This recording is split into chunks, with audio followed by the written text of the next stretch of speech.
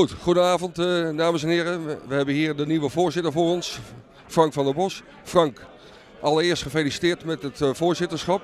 Wat vond je van de avond? Ja, een dubbel gevoel. Waarbij uh, de trots toch overeerst. En de voldoening dat uiteindelijk we de rijen toch wel kunnen sluiten met elkaar. En dat we na een, een hectische periode weer kunnen werken aan de toekomst. En ik heb goede hoop en ik reken er ook op dat we dat met z'n allen ook voor elkaar gaan krijgen. Ik moet zeggen, je kreeg toch 193 stemmen. Dat moest je goed uh, doen als uh, nieuwe voorzitter. Ja, er was weinig te kiezen. Ja, natuurlijk, dat, dat voelt goed. Stel je voor dat je met je hakken over de sloot gekozen wordt. Ja, dan geeft het toch een ander gevoel. En natuurlijk, dat voelt, dat voelt goed, maar schept ook verplichtingen. En probleem is ook dat misschien 193 mensen dat denken dat ik alles op kan lossen met IJsselmeerwals. En dat is natuurlijk niet zo. Dat, uh, laten we daar ook nog erin zijn. Uh, met de hele affaire die nu heeft gespeeld, dat wil je achter je laten. Maar er zijn altijd mensen die beschadigd zijn. Ga je daar nog iets voor doen? Ja, ik moet zeggen dat uh, de afgelopen weken en maanden achter de schermen daar ook al wel pogingen toe gedaan zijn. Maar de emoties die voeren nog gewoon de boventoon. Emoties die vanaf september al een hele dominante rol eigenlijk gespeeld hebben in het hele proces. Ja, die moeten er eerst uit. Daar is tijd voor nodig. Maar ik heb het niet voor niets ook in mijn toespraak nog even genoemd. Dat mensen die ook zich beschadigd voelen en misschien ook wel beschadigd zijn. Eh, dat die zoveel goeds gedaan hebben voor de club.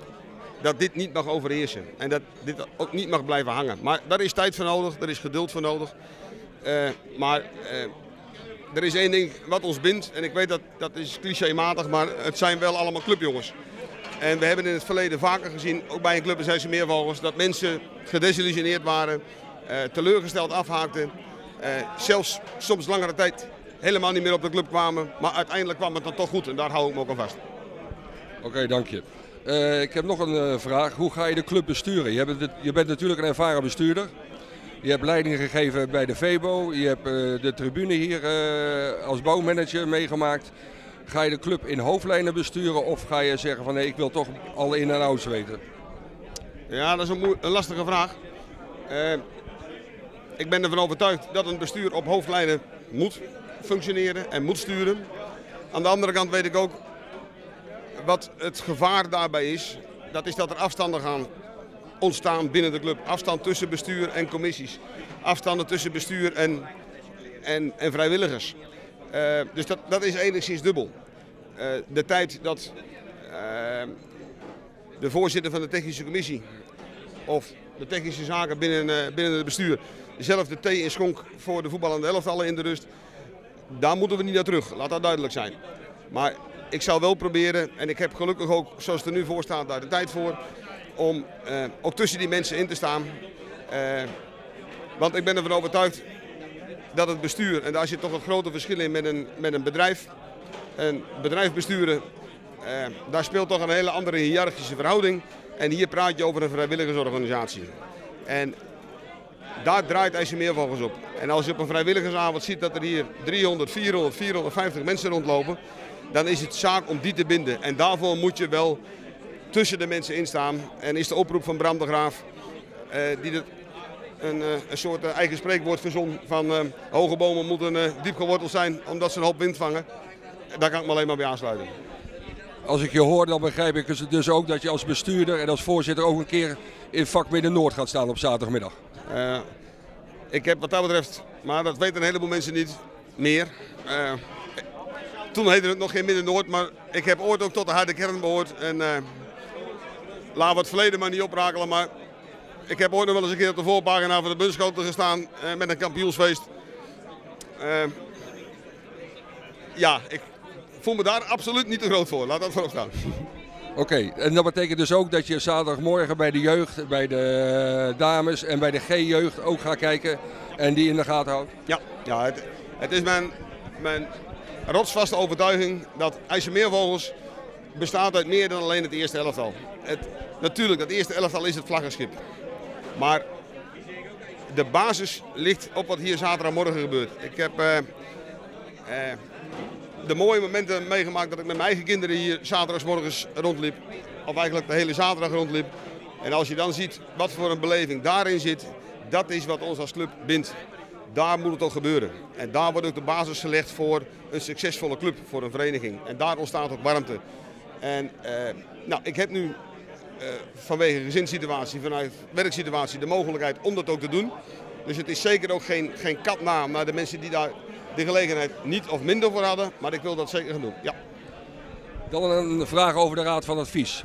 Wordt het moeilijker voor je als bestuur om uh, te besturen? Of zeg je van nee, dit helpt uh, ons enorm? Ja, die vraag is heel makkelijk te beantwoorden. En, uh, het bizarre wil dat ik, Peter Varenkamp haalde dat al even aan, dat ik beoogd was om lid te worden in die Raad van Advies. En de discussies die we daar met het bestuur over gevoerd hebben, die heb ik toen gevoerd met het beoogde lidmaatschap Raad van Advies op. en er heel erg voor gepleit dat die Raad van Advies geen vrijblijvend clubje moet zijn waar het bestuur zich bijvoorbeeld achter kan verschuilen bij moeilijke vragen. Of bij, bij moeilijke besluiten. Ik ken ze alle drie. En één ding weet ik zeker, los van het feit dat het mensen zijn die goed verstand hebben.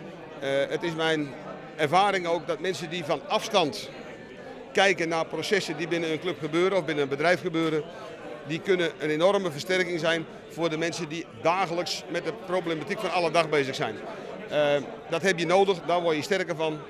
En ik ken die mensen die erin zitten en ik weet ook niet alleen dat het ongelooflijk rode mensen zijn, verenigingsmensen zijn, maar dat ze ook achter de idealen zijn waar, waar ik zelf voor sta. Dat er een stuk warmte in die club moet komen. Uh, weer een, een ons gevoel. Nou, dat zullen zij zeker in stimuleren. Maar ze zullen ook niet uh, uh, te soft zijn om ons geen spiegel voor te houden voor zaken die dreigen niet goed te gaan of waar wij misschien wel een verkeerde koers varen. Nou, daar word je alleen maar sterker van. Dus ik ben erg blij met de komst van de Raad van Advies. Sterker nog, dat was een van de voorwaarden die ik gesteld heb eh, op de vraag van wil je kandideren voor eh, voorzitterschap van IJsselmeervogels.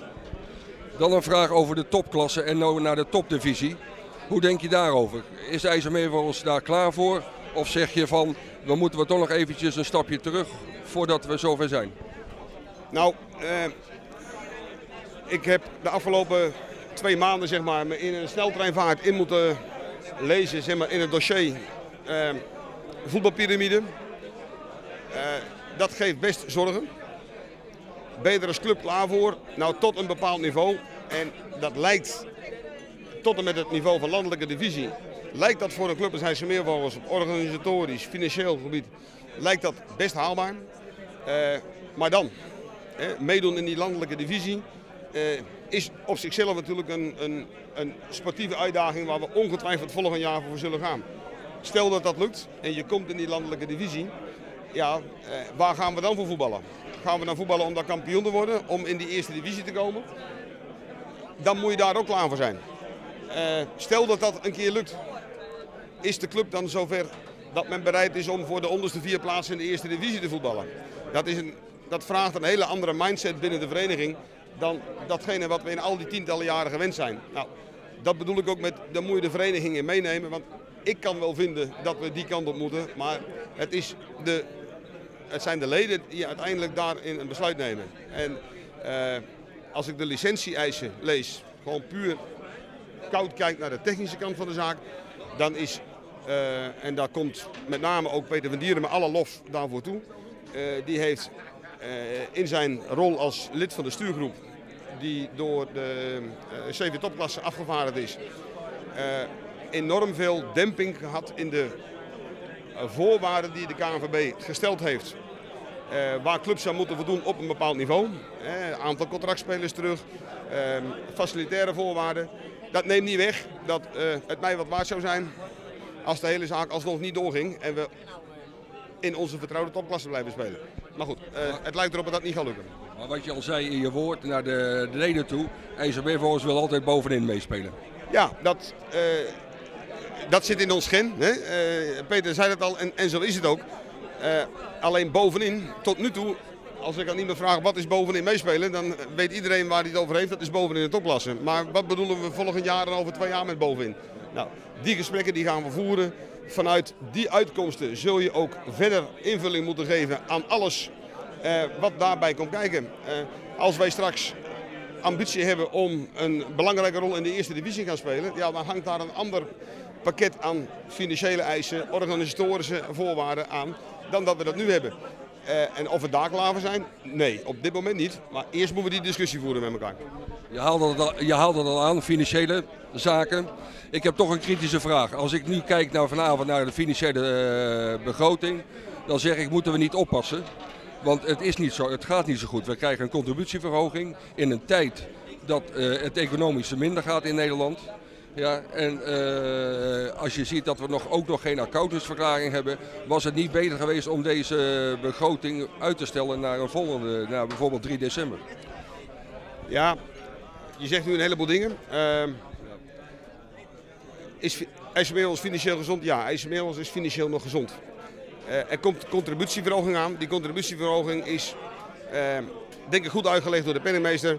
Hangt vast aan het harde gegeven huur van de velden die omhoog gaat. Die kosten worden verdisconteerd naar de, naar de voetballende leden. Ik denk dat het ook goed uit te leggen is. En als je ziet wat het, wat het voetballen bij een club als IJsselmeervogels kost als spelend lid. En je vergelijkt dat met omliggende verenigingen of nog, nog erger met andere sporten. Dan is dat een niveau, dat durf ik, dat durf ik te verdedigen. Uh, als je ziet naar de begroting in zijn algemeenheid, ja, die is erg ambitieus. En er moet in de sponsorcommissie, daar zal keihard aan gesloten moeten worden. We zullen met vrijwilligers er keihard tegenaan moeten om die ambitie te, te realiseren. Uh, dat wordt een hele uitdaging. De ervaring leert wel, als er eenmaal een spirit en een drive in die club zit, van we gaan er met z'n allen weer voor, dan heeft dat ook een positieve invloed daarop. En uh, ja, daar, daar, daar, willen we voor gaan. Maar je hebt gelijk, het is een, uh, een hele forse uitdaging die er ligt. Het uitstellen tot 3 december, nou, dan raak je een onderwerp wat helemaal bizar is. Want we zijn in november een begroting aan het goedkeuren van een boekjaar wat al vier maanden aan de gang is. Dat, dat kan ik in een bedrijf niet voorstellen dat een, een jaarrekening en een begroting in één en dezelfde vergadering behandeld wordt. Nou, dat is misschien een van de dingen die ik dan maar onder financiële beheersbaarheid schaars. En waar ik ook graag uh, mee aan de slag wil. Uh, namens uh, IJsselmeerwold TV willen we je hartelijk danken. We wensen je veel succes en wijsheid. En we hopen je nog graag voor, uh, voor de volgende keer voor, dat je graag voor de camera wilt komen. Ik dank, dank je wel. Oké. Okay.